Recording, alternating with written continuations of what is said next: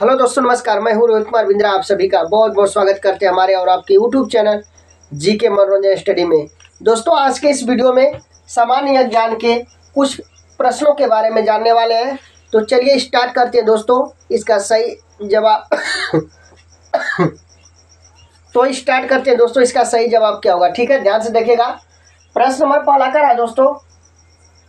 भारत की सबसे लंबी स्थलीय सीमा किस देश के साथ है दोस्तों? भारत की सबसे लंबी स्थलीय सीमा किस देश के है दोस्तों? याद रखेगा।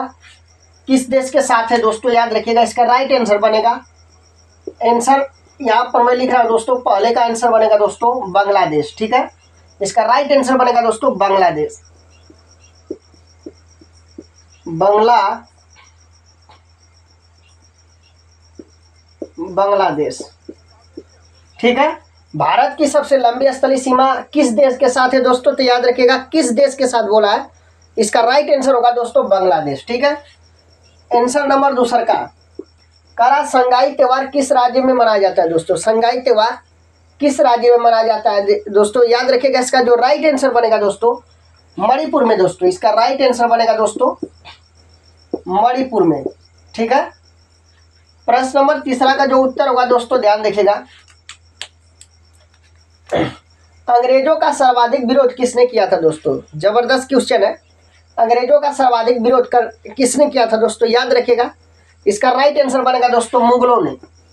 इसका राइट आंसर बनेगा दोस्तों मुगलों मुगलों ने। ठीक है? प्रश्न नंबर लेते हैं दोस्तों चार। तो प्रश्न नंबर चार का सही आंसर क्या होगा बताते हैं। भोर का तारा किसे कहते हैं दोस्तों? याद रखिएगा। भोर का तारा, पांचवा प्रश्न का तारा, छठवा पृथ्वी की बहन किसे कहते हैं? तीनों का राइट आंसर एक ही होगा दोस्तों। याद रखिएगा भोर का तारा किसे कहते हैं? शुक्र को। शुक्र को दोस्तों भोर का तारा कहा जाता है। पाँच नंबर में कह रहा है, साँझ का तारा किसे कहते हैं? याद रखिएगा माइंड में, साँझ का तारा किसे कहा जाता है दोस्तों? शुक्र को। तीनों का आंसर क्या होगा? शुक्र ही होगा। प्रश्न नंबर छठा, पृथ्वी की बहन किसे कहते हैं दोस्तों? याद रखेगा इसका राइट आंसर बनेगा दोस्तों। शुक्र को ही कहा जाता है। इस तीनों प्रश्न का आंसर शुक्र ही होगा दोस्तों, ठीक है? तो दोस्तों, आज की इस वीडियो में जो भी मैंने प्रश्न बताया, उम्मीद करता हूँ कि आपके समझ में आया होगा। यदि दोस्तों समझ में आया होगा तो लाइक शेयर सब्सक्राइब ज़रूर करिएगा दोस्तों।